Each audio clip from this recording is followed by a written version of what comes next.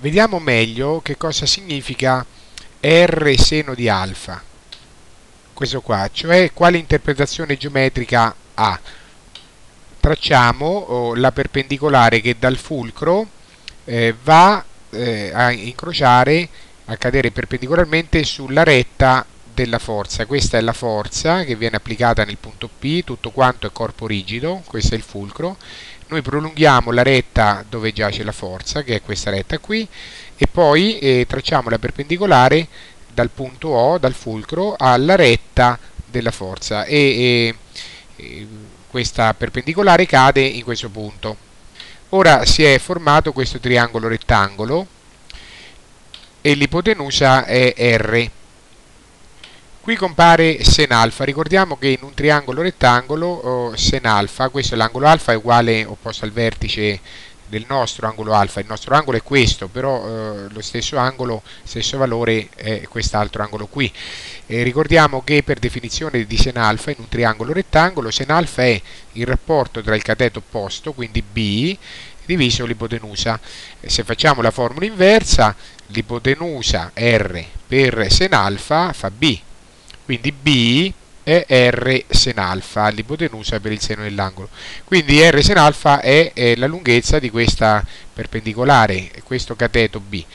E questo è veramente il braccio, quindi il braccio della forza non è la distanza tra il fulcro e il punto d'applicazione, cioè non è R, ma è la distanza tra il fulcro e la retta dove giace la forza, cioè la retta della forza. Quindi è B il braccio.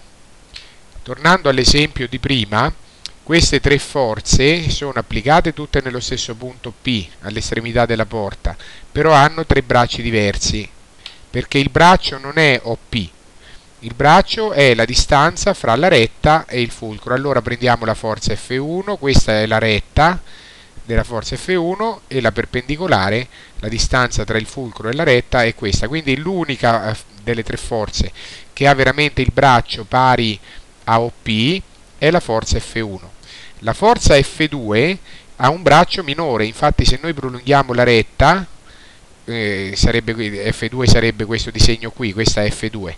Se noi prolunghiamo la retta, così, e tracciamo la perpendicolare, la distanza tra il fulcro e la retta è il braccio, sarebbe questo qui, e è più corto di OP. Quindi F2, questa retta, ha un braccio più corto di OP.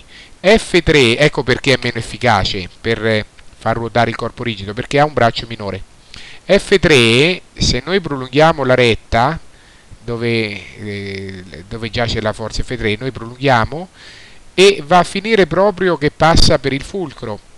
Quindi la distanza tra il fulcro e la retta di F3 è 0 perché la retta di F3 passa proprio per il fulcro e quindi la, re, la forza F3 non ha braccio, quindi il braccio non è OP, il braccio della forza F3 è 0 perché la forza F3 prolungata va a passare per il fulcro. Ecco perché la forza F3 non ha nessuna efficacia nel far ruotare la porta, perché non ha braccio.